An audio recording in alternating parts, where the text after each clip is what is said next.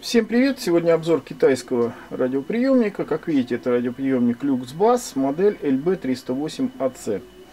Э, приемник является трехдиапазонным, у него есть FM диапазон, есть диапазон средних волн и два диапазона э, коротких волн. Динамик здесь один. Что известно из технических характеристик, это то, что выходная мощность, как указано на коробке, больше или равна 250 милливаттам. Вот так вот. Э, что касается непосредственно э, самого вот этого радиоприемника и его так называемого FM-диапазона. По инструкции, по крайней мере, которая здесь прилагается, русскоязычная инструкция, и вот здесь по шкале, да, Вроде как он должен принимать УКВ от 64 и FM диапазон, то есть это который от 87 и до 108. Но на деле получается так, что у него вся эта шкала, вся эта шкала, она как бы представляет собой радио... Ну, здесь если делать поиск, то здесь будут только... А, у свои планы, вот видите, вот это вот, планы, не знаю. Вот это вот, вот это сейчас радиостанция, которая у меня настроена, это радио Эрмитаж. У нее частота у нас в Петербурге 90 и 1 десятая мегагерц. Как видите, вот она здесь вот присутствует казалось бы, в диапазоне УКВ должно быть. Так что вот весь этот диапазон это FM. То есть диапазон УКВ, несмотря на то, что он здесь указано, что от 64, здесь, в общем-то, в этом приемнике отсутствует. Не думаю, что это касается данного конкретного экземпляра. Я думаю, просто китайцы не стали заморачиваться. Раньше этот диапазон УКВ здесь действительно был, но сейчас, видимо, его убрали. Зато стало удобнее искать радиостанции в FM-диапазоне. То есть шкала удлинилась практически в два раза, да, шкала стала длиннее. И, соответственно, более удобно осуществлять поиск радиостанций. Органы управления приемника находятся на правом торце. Что здесь есть? Здесь есть э, регулятор, регулятор громкости, который совмещен вместе с выключателем. И есть колесо, с помощью которого осуществляется поиск радиостанций, то есть ну, виньер еще оно называлось. Вот. Есть гнездо для подключения наушников. Вообще же этот приемник примечателен тем, что он может э, либо все время работать от сети, вот сейчас у меня подключен здесь сетевой кабель, который идет в комплект, либо можно использовать э, две больших батарейки формата R20 или D они еще называются, вот такого плана.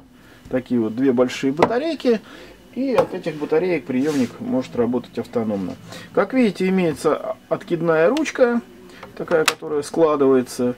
Телескопическая антенна, это антенна поворотная для улучшения приема радиостанции. Что касается чувствительности, в принципе, довольно достойная чувствительность.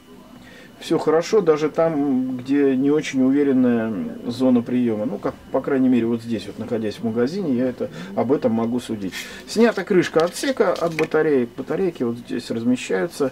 Переключатель диапазонов.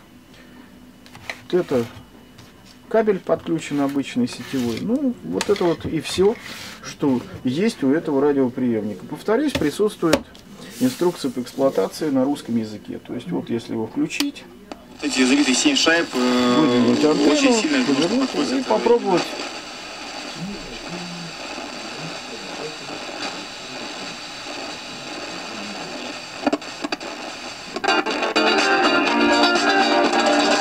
Так что поиск радиостанции здесь осуществляется э, довольно уверенно. То есть э, не надо очень точно-точно двигать это колесико, как в случае с тем, когда шкала разделена на две части, как бы на диапазон УКВ и на диапазон FM. То есть такой вот радиоприемничек, на мой взгляд, это отличный дачный вариант, либо в какой-то там в рабочей обстановке да, поставить, чтобы включить какую-нибудь фоновую музыку, либо новости, например.